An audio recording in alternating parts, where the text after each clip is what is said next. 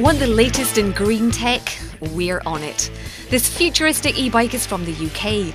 The plastic shell hides a battery which can power riders along for up to 60 miles. Recharge time is five hours, but a key reason to like this bike is that spare parts and accessories can be made with a 3D printer. It's a really cool bike, as you see, and it's designed very future. You can print many parts of this because the ETT will offer some 3D models online, and then you just download it and print it, just like cup holder or uh, phone holder, just put it to the bike, and then you can use it. The most funny thing yeah, one of our customers just print his face on this pedal. Yes. The 11th edition of Eco Expo Asia is helping the world face environmental challenges through a global platform for the green industry.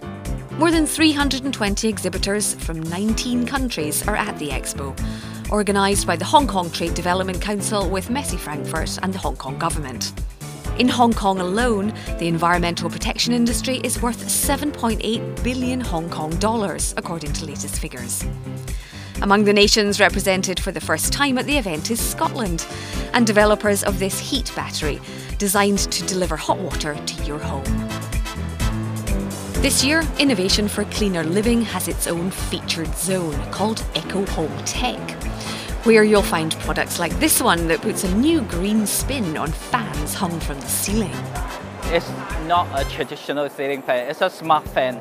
So you can control it, your home fan from your office through these mobile phones. It can save your cooling cost by 20% and heating cost by 30%. It costs much less than the air conditioning.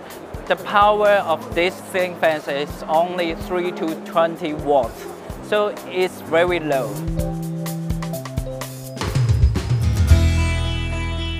And low power is an even bigger challenge for green tech making its way onto city streets. Fortune Dragon imports electric commercial vans from the mainland, aiming to replace Hong Kong's diesel minibuses and light goods vans.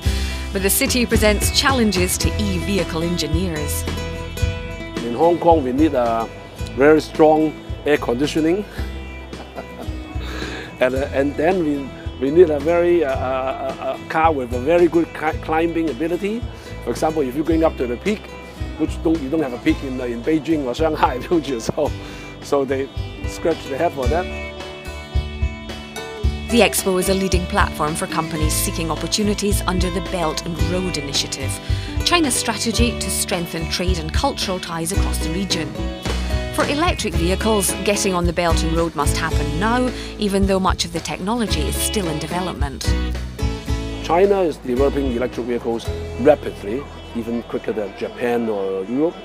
However, if you ask me if they are 100% now, sorry, no.